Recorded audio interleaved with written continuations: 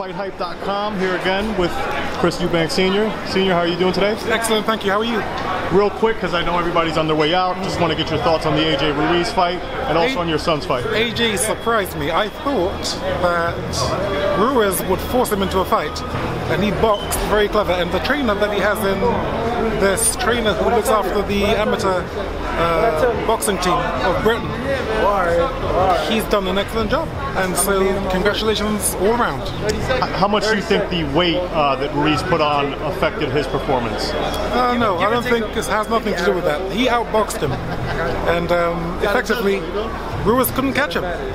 He boxed clever. Congratulations. Hey, congratulations. Thank you, sir. Steve Gray scores 119 and 109. All three scorecards go to the winner by unanimous decision. The followed by